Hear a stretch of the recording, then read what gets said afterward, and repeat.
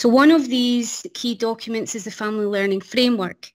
This particular document is split into four sections that you can see here. So research, workforce development, programme development, which includes planning, engagement and delivery, and the topic for today, which is evaluation.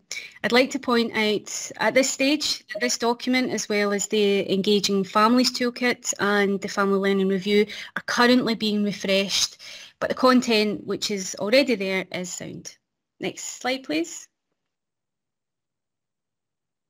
Embedded within this section, uh, you'll find helpful resources such as the How Good Is Our documents, which Alona will expand on later, bespoke self-evaluation examples using the Family Learning 2.5 challenge questions, as well, as, as well as other relevant QIs such as partnerships, showing how to work across the different Higgies documents and of course the common language that exists between them.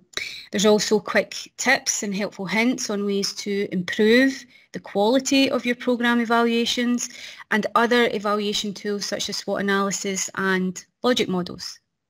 Next slide please. Last slide highlights some of the new resources that we are hoping to include in the refreshed document. However, of course, we are always looking for more, so please get in touch if you'd like to, uh, your work represented. We're always happy to work with people on that.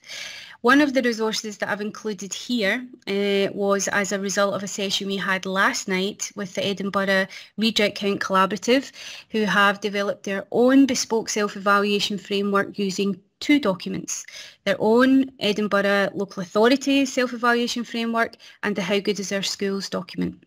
So hopefully they'll join in the discussion. I know that Karen's going to be here, so no pressure, Karen. But once we have the discussion later, it'd be good for us to, to kind of talk through that process.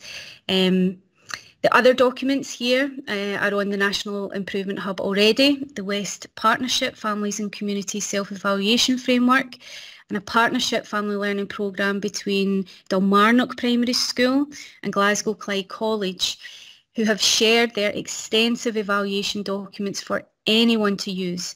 So there are a variety of resources that you can access that will all be housed within the Family Learning Framework moving forward.